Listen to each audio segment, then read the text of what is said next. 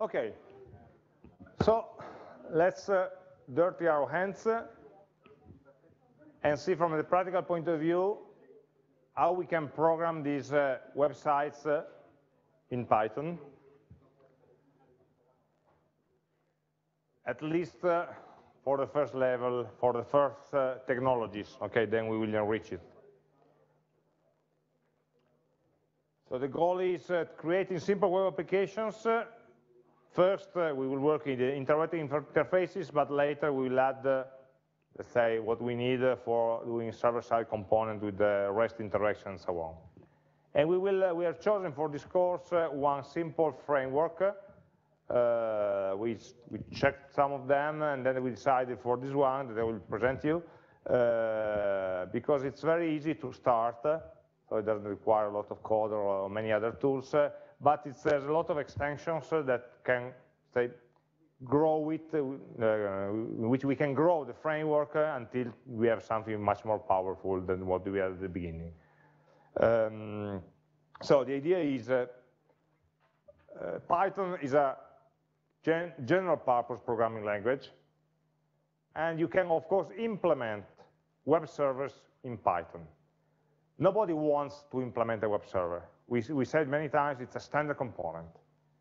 So actually what we are going to do is to use a library that integrates the web server, all the behavior needed for web service, web server, and gives us the possibility of defining our own application logic.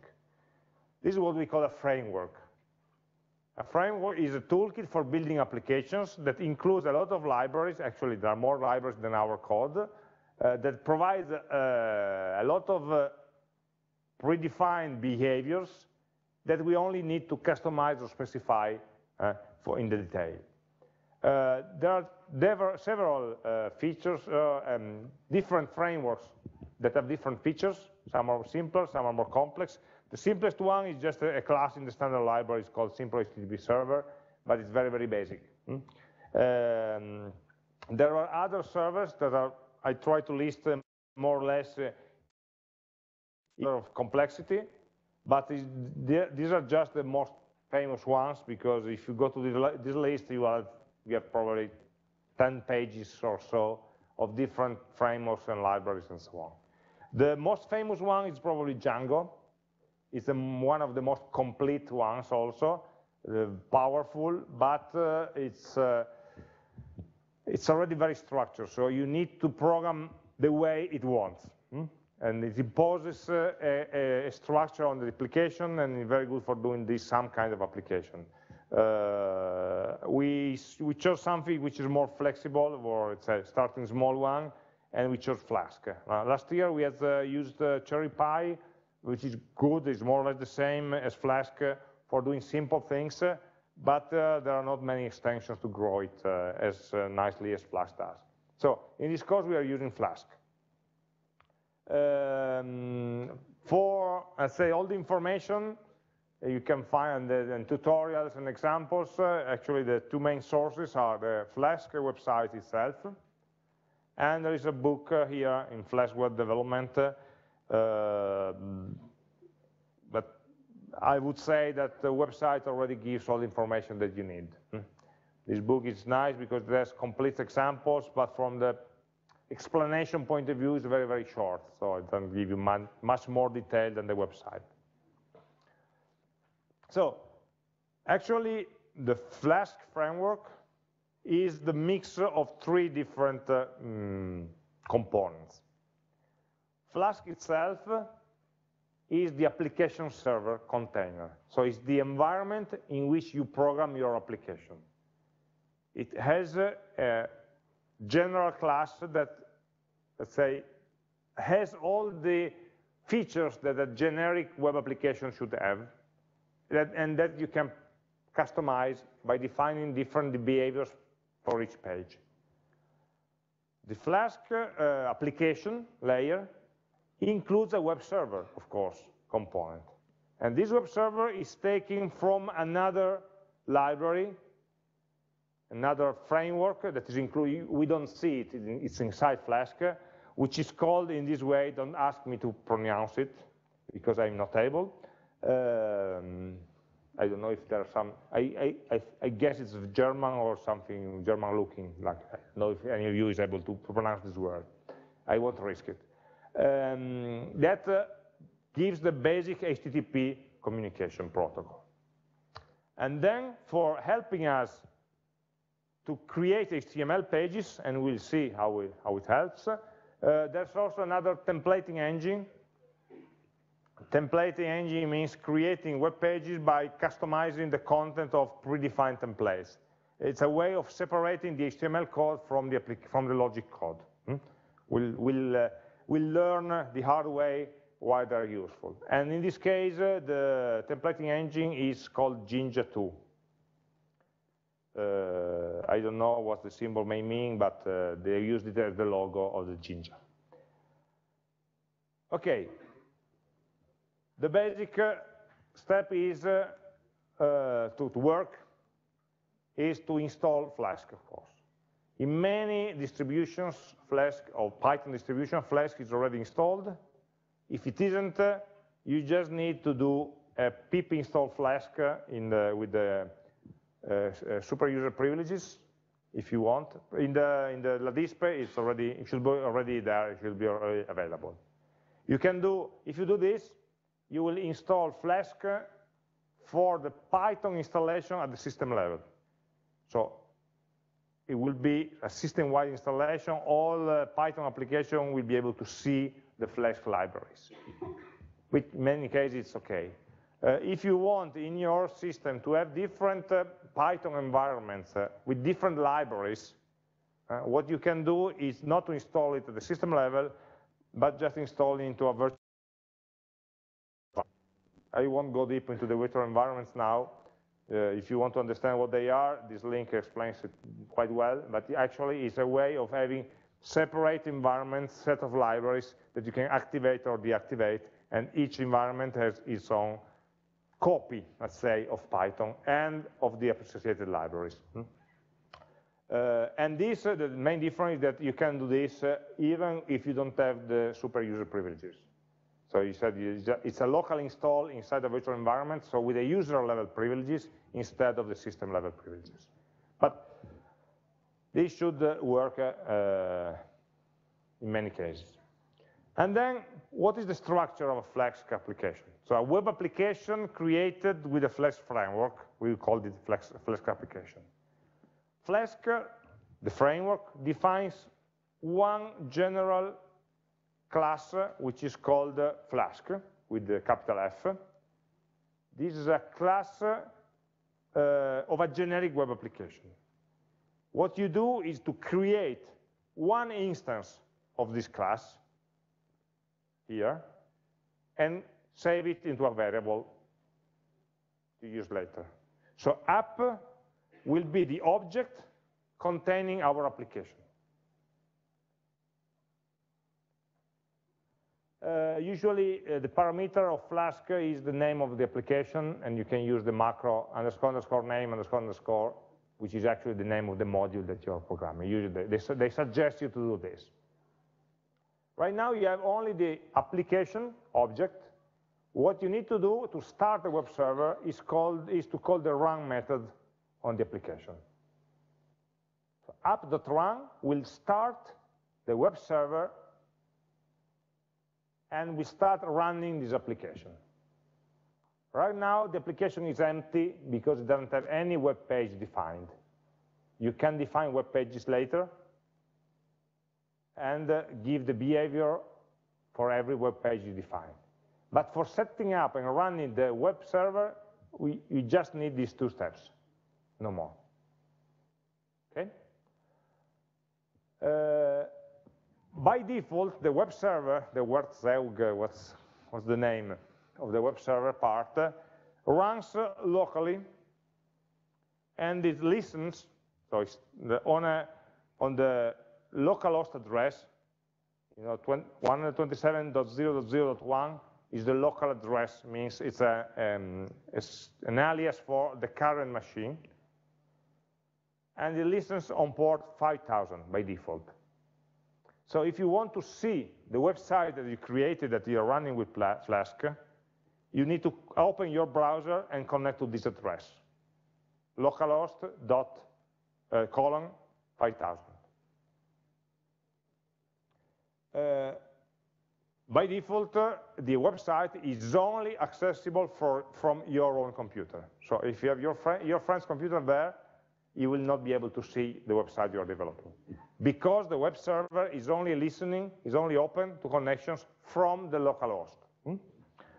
Uh, there is, uh, of course, uh, there are, uh, say, parameters and options to modify this behavior and to let it listen on a public port on all the addresses on or on uh, or, uh, or on other port numbers. So uh, if you want to make it public, you can modify the run statement like this, and it will, it will listen on the default HTTP port 80 on all the web addresses, on all the web interfaces that your computer is showing to the world. We won't do it, probably. But uh, uh, the, another option that can be useful is to set the debug is true, so that it modifies the behavior of the application server, mainly when some error happens or some exception happens, it will generate an HTML page with the detail of the error. So why we are developing is very useful. After we end the development and we let the users connect to the application, of course, we want to disable this. Hmm?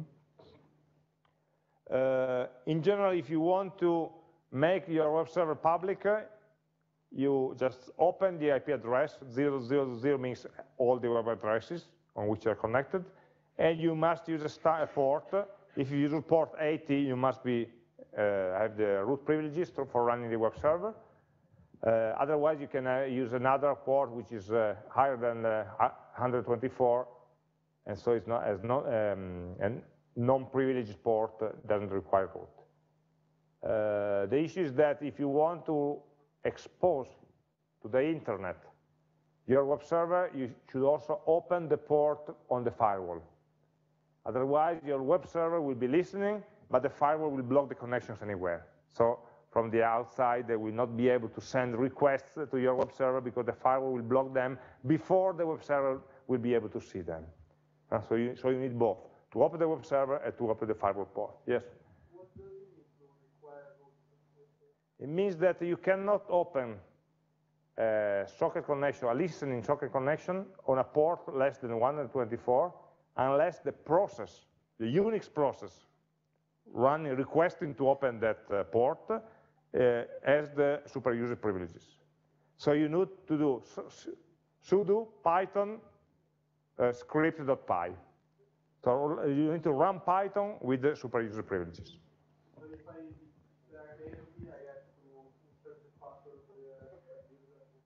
Not the path, the password, your, yes, sudo, like, like, uh, like you do for every administrative command. Hmm? Beware that if you're, when you're opening it, uh, every programming error is one opportunity for hackers and intruders to destroy your work or to steal your data or anything else, okay? So be very cautious. Okay, we have the uh, web server running with no content, how to load content on it. Every page is implemented by a method. You define one method, one function in Python, def function, and this function has the goal of returning one string corresponding to the HTML of the page. So, like I said before, the application logic has only one goal, to spit out the HTML page. How to do it? Returns a string. Hmm? All the web page into a string. And uh, we need to tell also the web server what is the, URL, the public URL path on which this page is published. And we do this with this decorator is called at app.route slash. This means that asking the web server, whenever a request comes for this address, your home page, then call this function. This function will handle this address.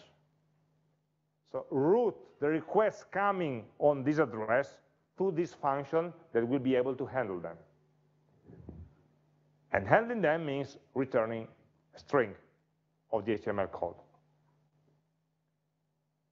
So we have the name of this function, uh, the Flask documentation calls them the, the, view functions, because they are the functions that generate what the user sees, what the user views.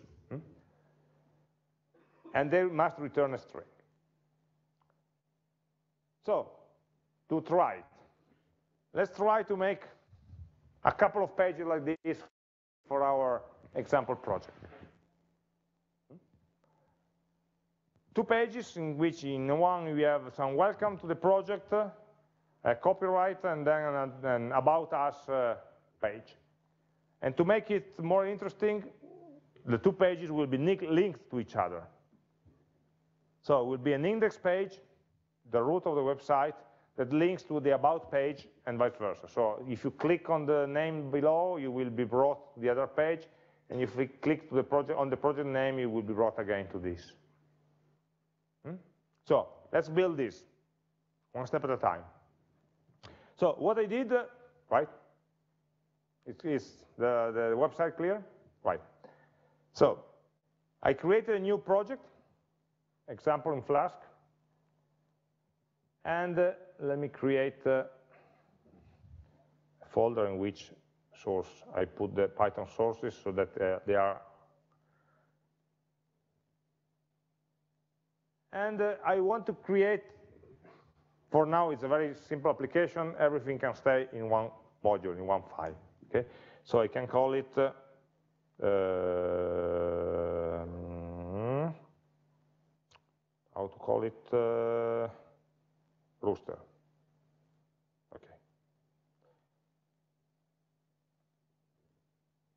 So this is the empty. Can you see? Not much, right?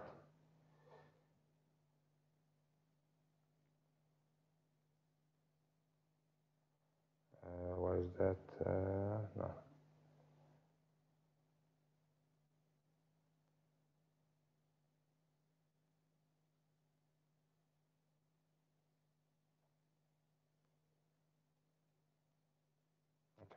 a bit better.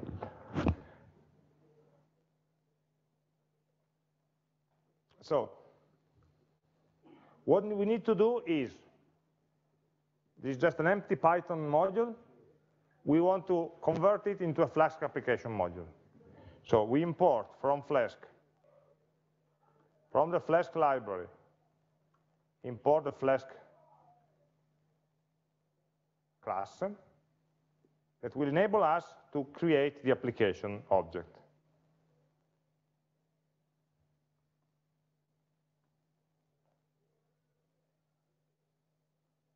And then, when the application is run, we activate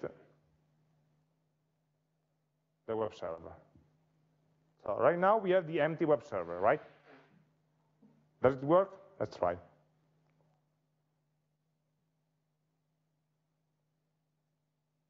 Okay, you see it's running on this address. So the web server is running, and you see that this application is still running. It will run forever, because the web server, once you activate it, it's always listening. You need to stop it by killing it, by pushing the red button. If I open the web browser and try to connect to this address, to this address, no, localhost 5000. Of course, I will get not found. I requested a page from a server, the server replied, the server is active, it replies, but it will tell me the page is not available. Yes, I know. There are no pages defined yet. Okay, but it's running. And you see in the console that you have the list of the requests, uh, you see get slash http 1.1 what I did here. The result is 404 instead of 200 because the, the, the, the, the response was page not found instead of OK. Yes?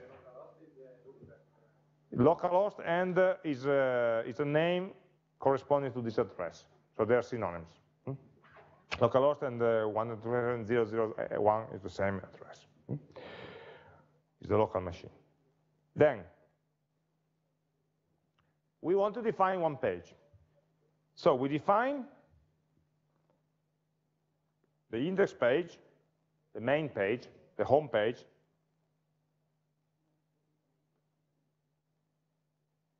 and we associate this main page with the slash URL, app.route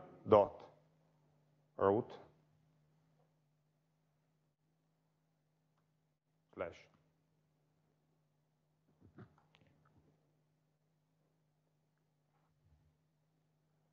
And so we run, uh, we return one just for, for testing, some text. This text will be interpreted by the browser as the HTML page.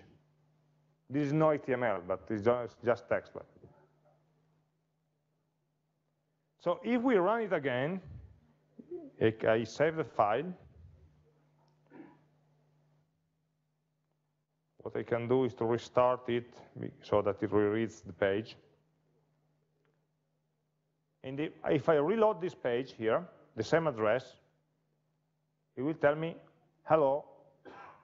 So my browser is connected to my server, and the only page that has been defined on this server, and is receiving this. Just in your mind, try to split your mind, okay? Like if you were psychopathic or something like that, you must have a double personality. When you're here, you are the web developer. When you're here, you are the user. The user is running on a machine which is in a different continent from the, the web developer. Try to forget that everything is on the same computer. Okay? They are connected over the internet. Right now, the internet is just the loopback interface, but nothing changes. Okay? So we don't want to have the hello page, we want to have this uh, extremely nice web page. So to do that, we need to create some HTML to return. Um, it's a pain. Hmm? It's going to be a pain because the HTML code means I can use the multi-line strings in, uh, in Python, for example, so that it will ease me. And into this string, I can say, okay, the, the, the, the HTML contains a head, contains a title. The title is uh, wake kill, end of the title, end of the head. Then we have a body, end of body, end of HTML. And inside the body, what do we have? The title, H1, ambient intelligence, end of the title, and then the text is a paragraph,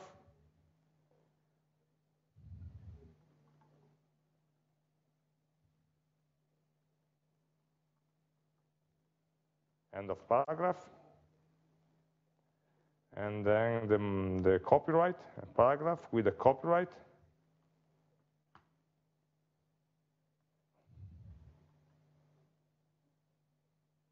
End of paragraph. So as I said, in the five minutes HTML, you can learn about these four or five tags that I used. Title of the page, heading, paragraph, that's it everything in a string.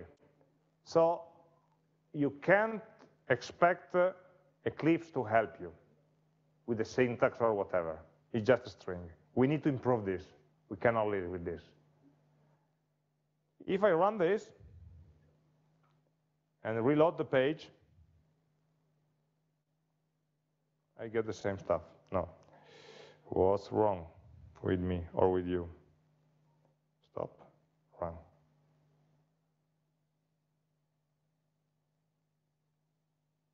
Okay. So something changed. You see here on the top, we have the name of the page, the title, the heading, which is in bigger and bolder font, and then the text. We also need to have the picture. Do you want the picture? So you can have, uh, usually, Flask requires uh, pictures and other items to be in a static subfolder. I have a copy of this picture here from another, I copy from this there. And inside my HTML, uh, I, I insert another paragraph with, the, with a link to the image. Image source is quote static slash rooster dot jpeg end of image. So let's reload this.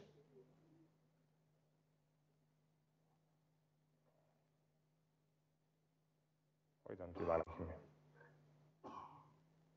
Okay, fantastic. Uh,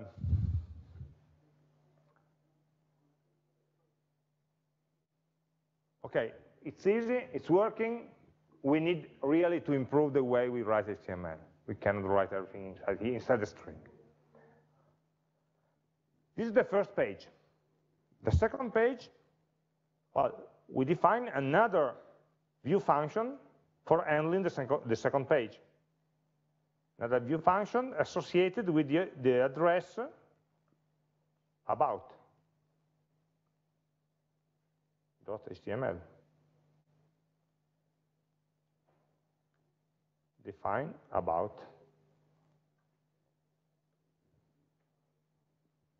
You see that this name is just the name at which that page appears. There's no about.html file anywhere. From the client, it looks like there was a file like this. Actually, the file doesn't exist. We are creating it on the fly? With our return statement. Let, let's me, let's me, let me steal this and modify it slightly. So the second page uh, about us. Uh,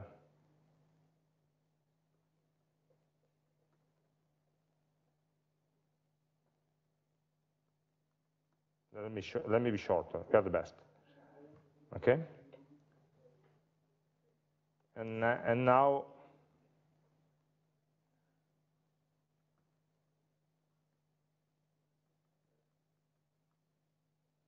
Okay.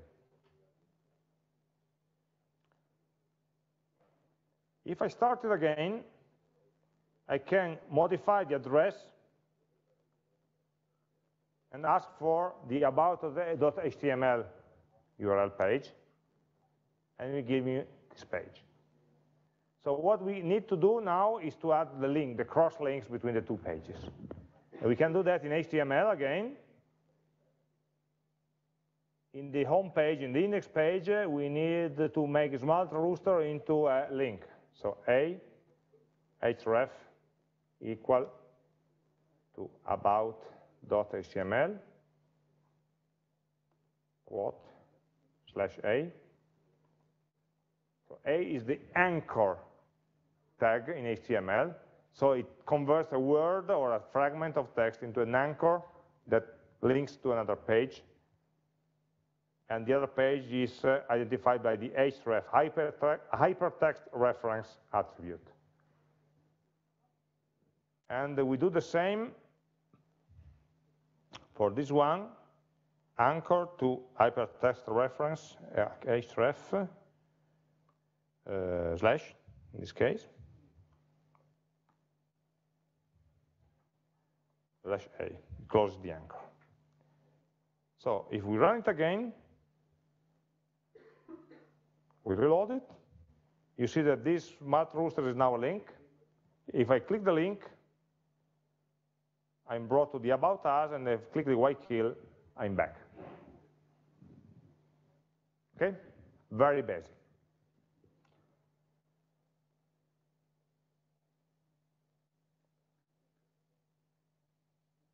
What don't we like about this? Well, we don't like all the hard coding. We don't like writing HTML inside a string.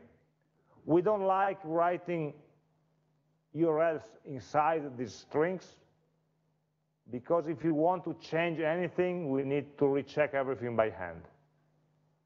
So we want to improve. The general idea is okay, but we need to improve it. Yes, there's a question.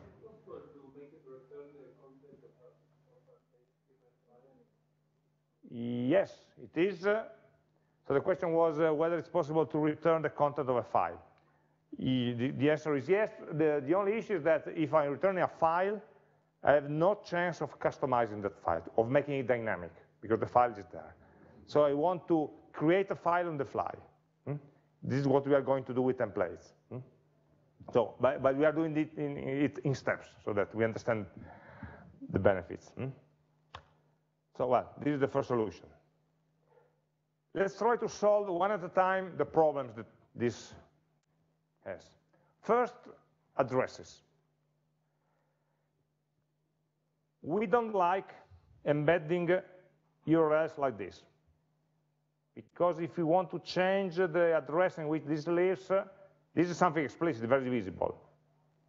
This is uh, hidden inside the, the code. So a way of uh, avoiding, and we also always want to avoid to write explicit addresses, is to tell Python to substitute the actual address if we give the logical name. What's important is the about function. We want to link to the page that corresponds to the about function. So we use uh, the URL for URL for function of the Flask uh, framework, that if I give the name of the function, the name of a view function, it will return the URL associated with that function. So that if I change a route, then everything is, is updated automatically. So we will always use this. And also for images, for static files, is the same. You can have URL for and uh, two parameters, one is static and the other is the file name of the image. So that you can generate dynamically these uh, names. It will become more useful when there are user parameters in the request. Right now it's all still static, but we are trying to create a static page in a flexible way. So actually, instead of this, I need to, I need to throw away this href, close the multi-line strings string and add URL for for what? For about.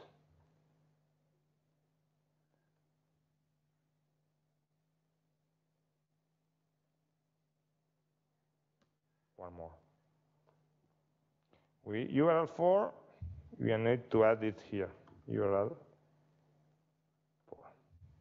we need to import also the URL for function. So actually what, what we are doing is we are joining together constant strings, pieces of HTML, with the dynamic strings computed using functions. The same for the image. We get out of the multi-line string, concatenate with URL for, a static element i name equal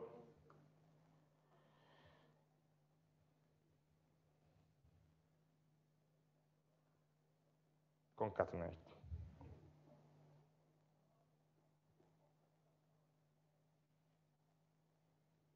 If it was ugly, it's more ugly, even uglier now.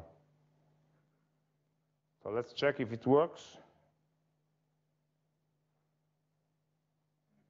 So you see it's the same. Nothing changes from the HTML point of view, but we have changed the way in which this content is generated. So we have no longer, we don't have any longer file names inside the HTML code.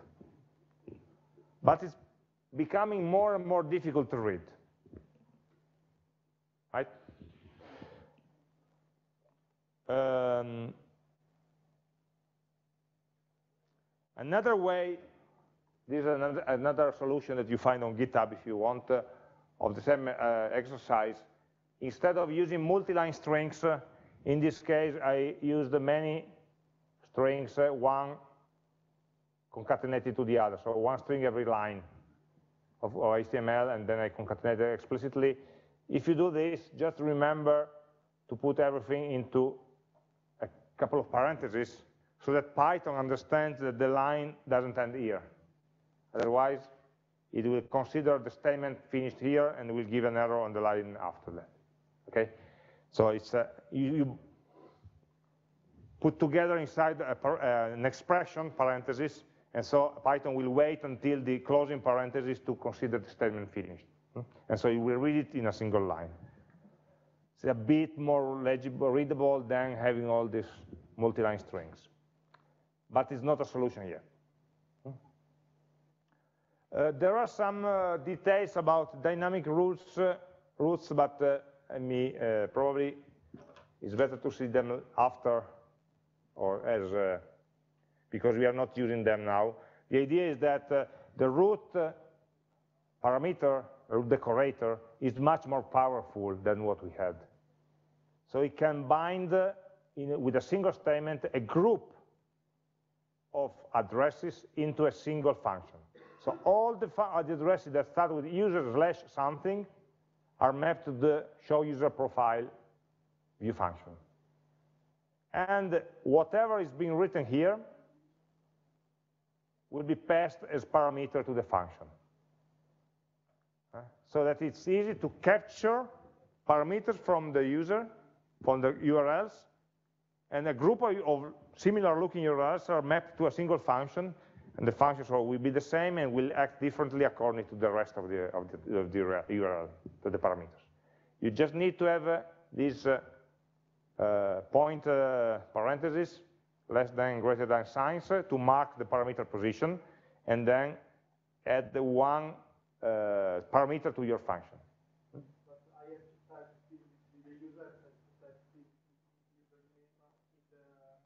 Yes, physically or by clicking on a link that contains that username. Usually you will generate dynamically a page that contains this kind of links. Uh, you can also do some automatic type conversion here.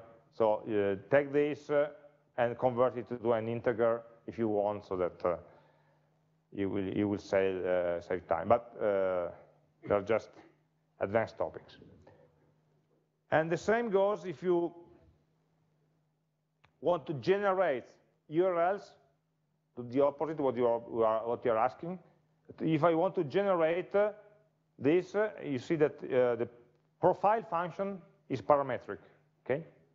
It takes one parameter.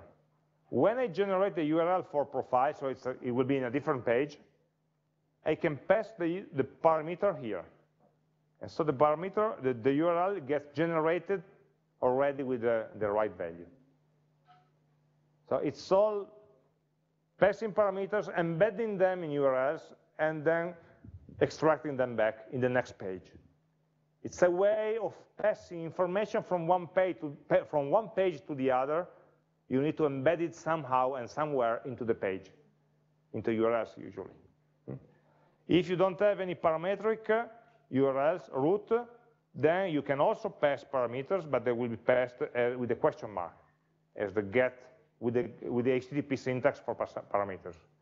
So parameters may be modifications of the URL or real parameters being added, all with the URL for uh, function.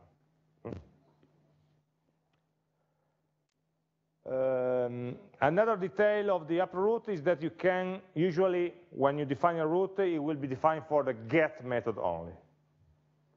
we will see that when, you, when we are doing user interaction, usually the forms are submitted with, by the method post instead of the method get.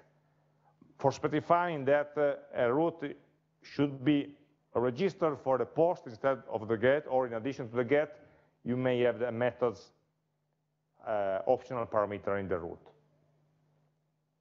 But let's save these ideas for later, okay? We don't need them now.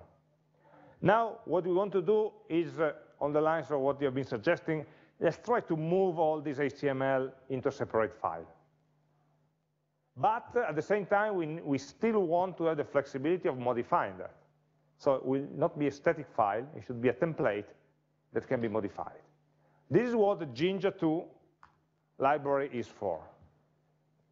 Because embedding HTML in Python is ugly, error-prone, and ugly, and complex, and ugly again. Eh? Okay, so nothing to do.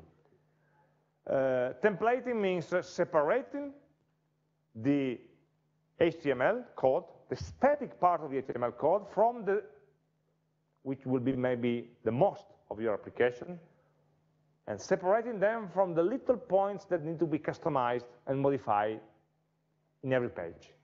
Hmm?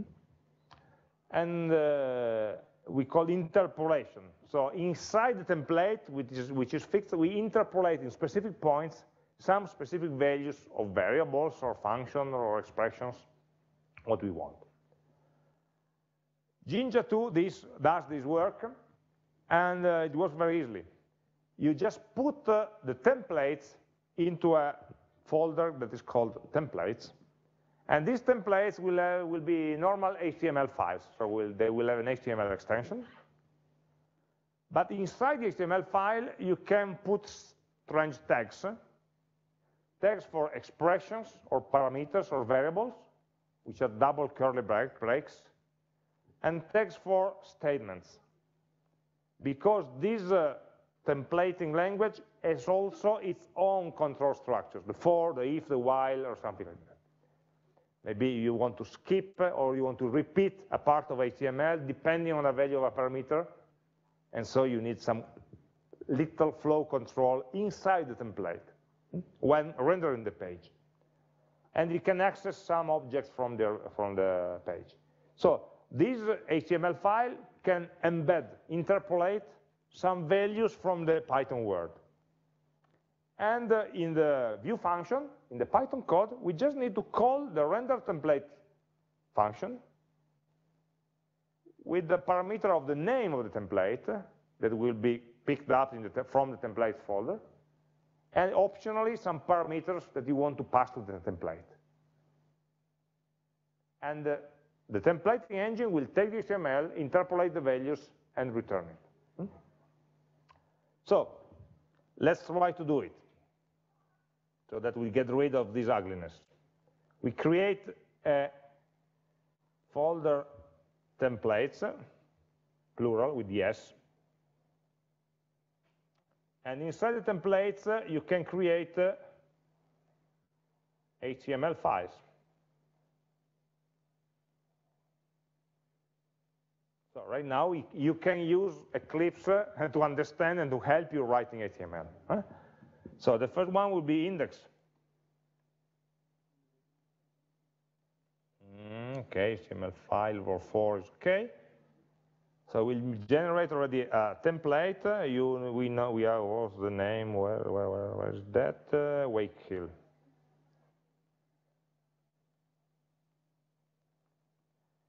And in the body, I copy from here.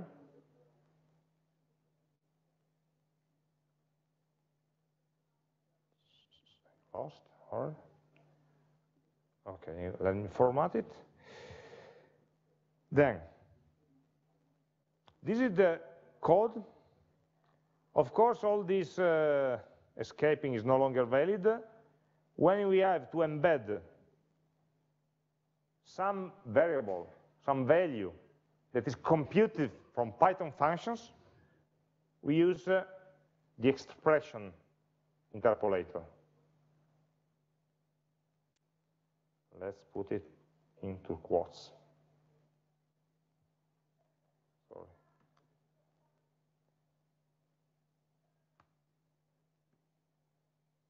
So what does this mean? It's an HTML page, file, that is being copied verbatim, letter by letter, up to this point. At this point, we have a, an interpolation tag. In this case, it's an uh, expression tag, double curly brace. So it will call this Python function, take its output as a string, and insert that string in place of the tag. So we'll remove the tag, and in, in its place, put the output of the tag itself. Hmm?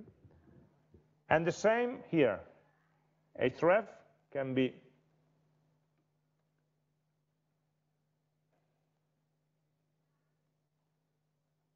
Just beware, these quotes, this quote here and this quote there are HTML quotes, are required by the HTML syntax, okay?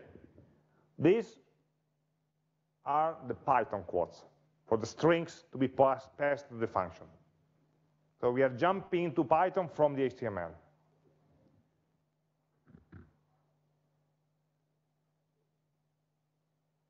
And of course, when you're writing this, uh, it will be much easier. No?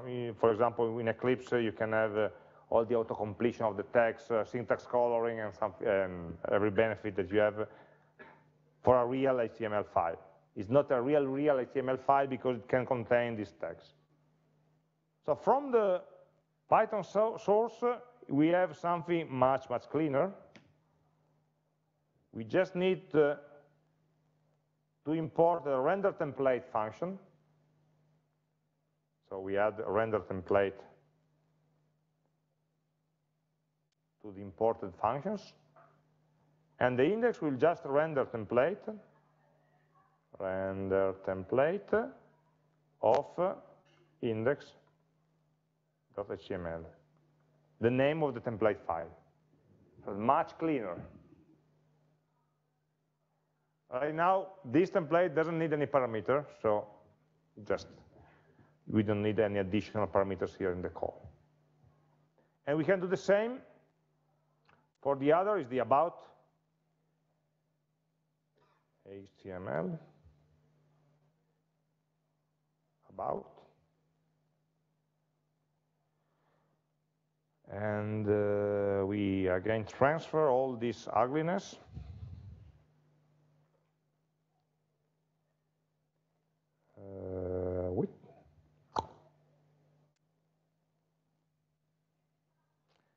And it's not slash, but take the URL for index. Just remember, we need to put the name of the function, the name of the Python function, not the name of the page. Hmm? And again, we just modify this into a render template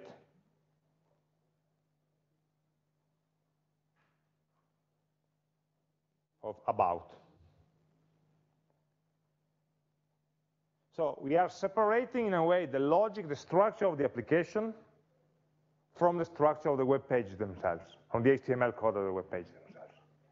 Template is much more powerful because templates by themselves are objects that can be inherited.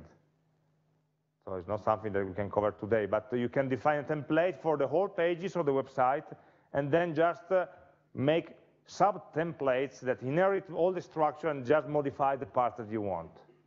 Hmm? So it's very powerful. You can have a general template and then very small fragments in which you only personalize or include the menu or include uh, some uh, parts of the page very, very easily. Hmm?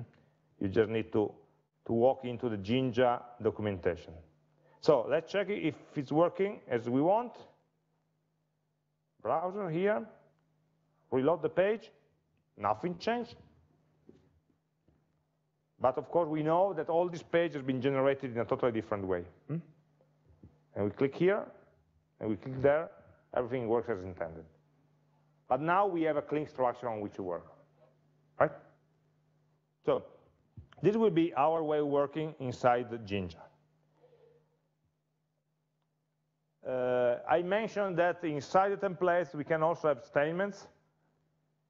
You can have the list, but basically the two most important ones are for and if.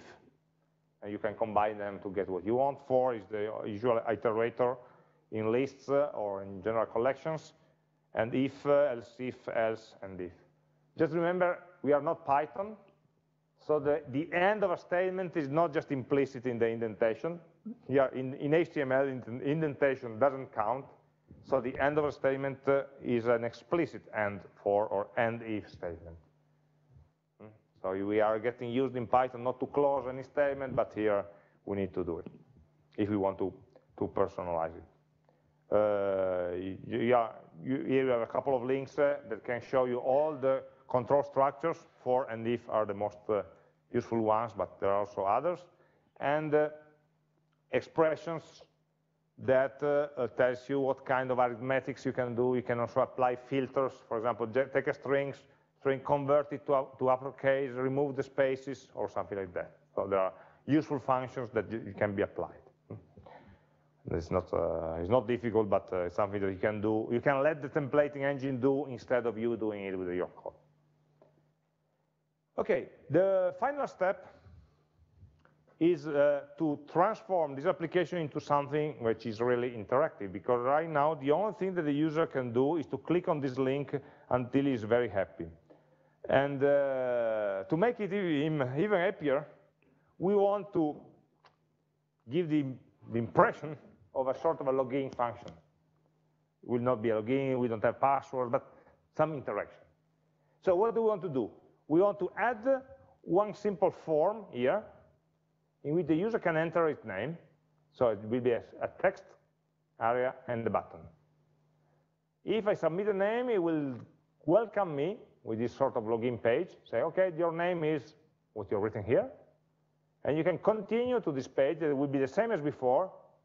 You see, index and index, the same page, but where your name has been put there, and instead of the form here, we have some links, uh, check your alarms, log out, and some function for logged in users.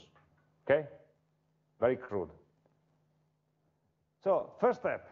First step, the form. It's just simple, plain HTML. We need a couple of uh, tags from form. This is the page from W3C's course about forms. The main tag is form which is the container of the elements that compose the form, and then the actual elements are used uh, by are created with the input tag. To make it short, we take the index, so we are working inside the template now, is much more convenient. And after the rooster, but before the copyright, we add another paragraph we close it. Inside the paragraph, I want to insert a form. And then we submit it with the method post.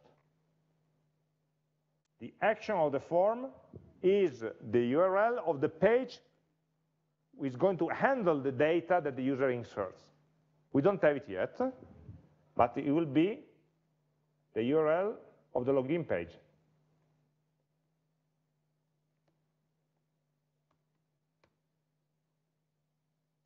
Action is the page that is called when the, the form will be submitted.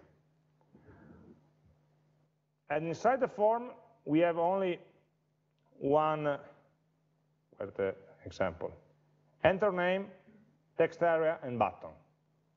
Enter name, then a text area, you can do it with an input, field, type, text. Where is text?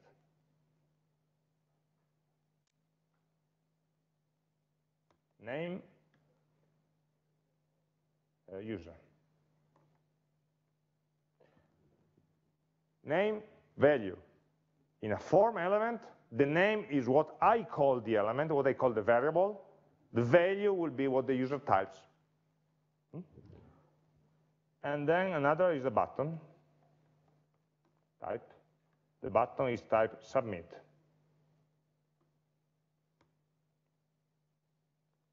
It has no name, but it has a value that corresponds to what is written on the button.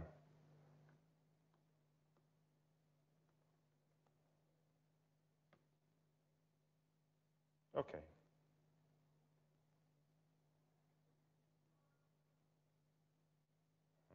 Mm.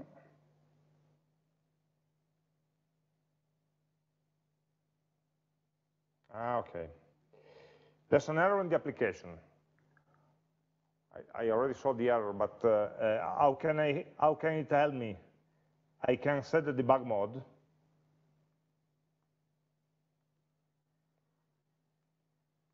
into the application server, run it again, and try to redo the request. And it will give me, oh, it's also an error, but now we have the stack trace, build error login none, and it relates, if you just have a look at which are the lines here that are in your, here, rooster line 13, render template index, but the error is login. Actually, the problem is that I'm uh, in the template uh, referring to this login page that, that, that doesn't exist yet. So I need to create it. So let me create it.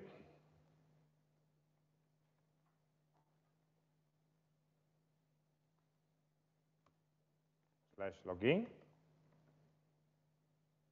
Def login.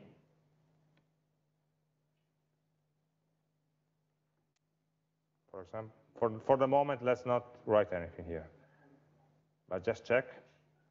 Okay. You see that we have the form here.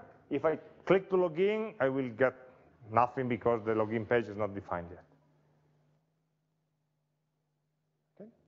But I can enter my name here. Good. It's login, but I get an error because it's not defined yet. So let's work on the login page. What do I need to do? I can, first of all, I, need, I must say that this login should be called by a form.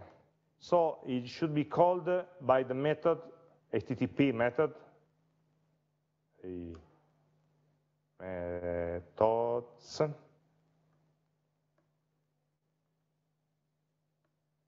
post. Hmm?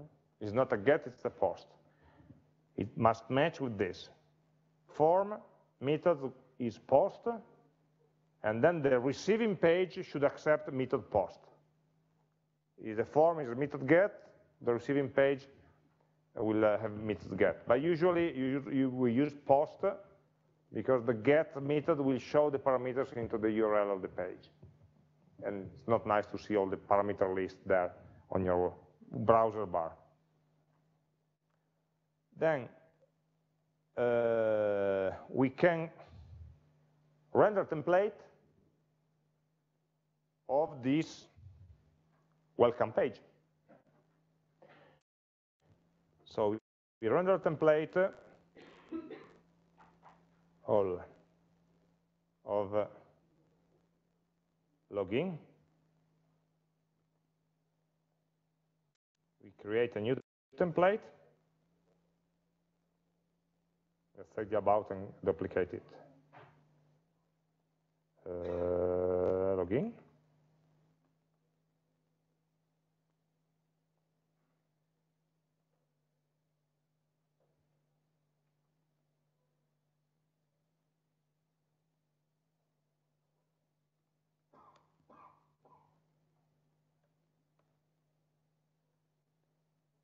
And then uh, continue.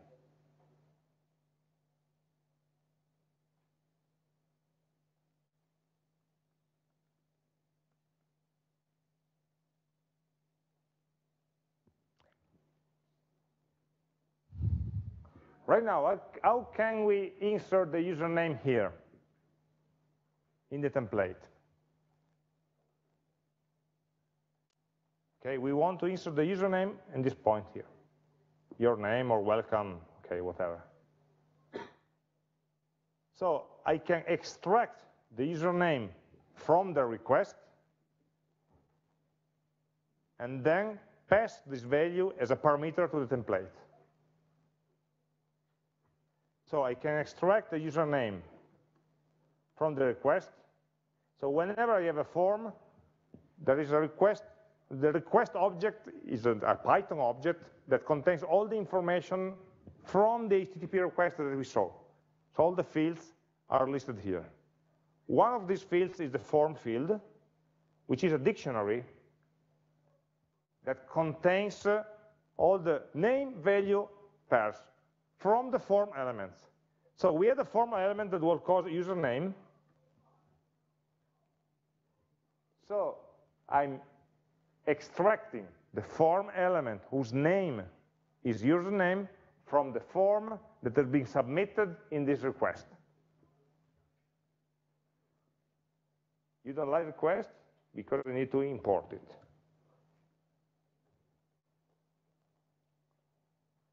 And then this username is a Python variable that, that I can pass here.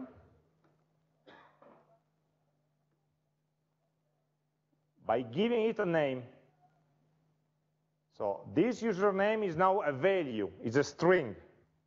I can pass it a parameter by giving it a name. I chose a different name just to make the difference. This name will be the name of one parameter passed the template. The template can use, where is the login? The name of the, uh, of the parameter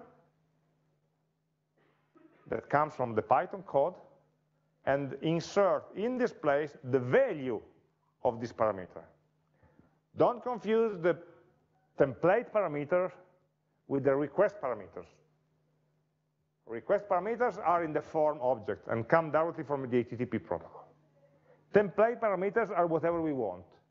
They may be the same, they may not, are just values that we pass from the Python code to the template.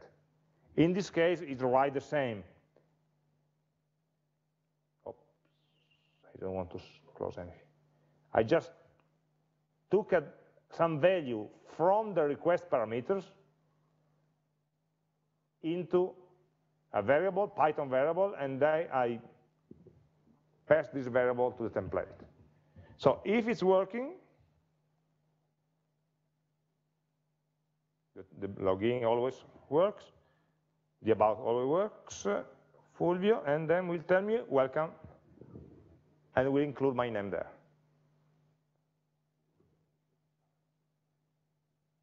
And then continue Uh, will bring me back to the index page. Right now, what I still have to do is to modify the, the template for the index page by taking into account whether the user was logged in or not. Okay? The problem here is in this page, how can we remember the name of the user? It's not in the form anymore. The form was consumed by the login page. Right? when I was redirected here with the URL for, I lost everything. Remember, HTTP is stateless. When I'm making this link here, when I clicked here, this page knew my name. When I click on continue, I'm just requesting the home page of the website as a new user.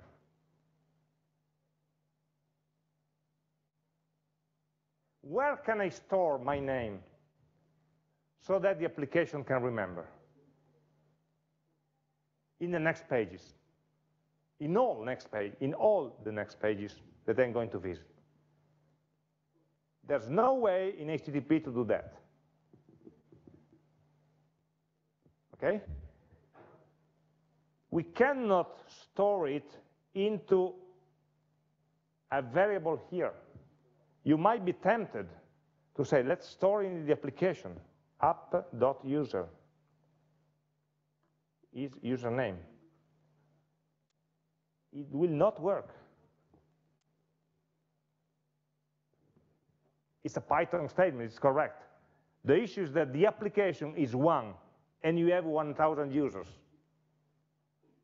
So every user will overwrite the same value from the others.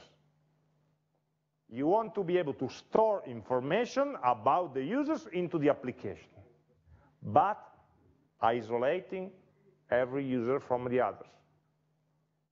It should be a local store per user. This as a name is called session. Session. A session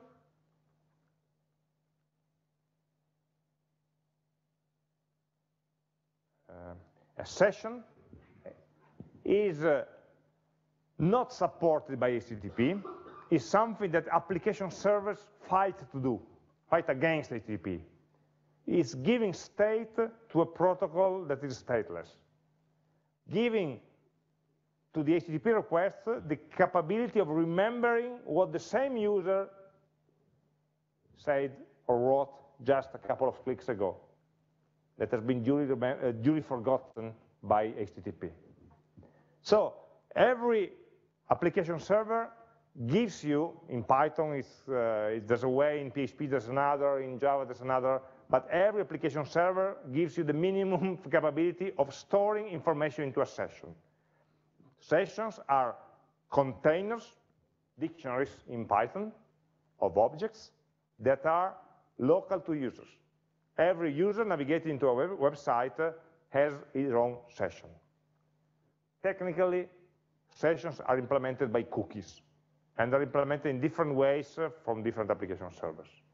The implementation of, of uh, Flask is very stupid in cookies because it puts all the information into an encrypted cookie. I hate it, but anyway, other web servers are more clever. And there are also ways, more extension of Flask for making it more clever.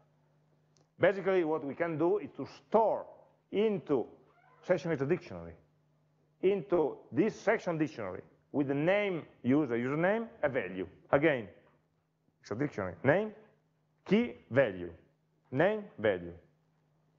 And then this uh, value can be used and reused many times in your application. The only detail is that uh, Flask needs to encrypt the cookies. Otherwise, it will be very easy for another user to hijack your session, to impersonate you in their session. If they steal your cookie, they can act as yourself.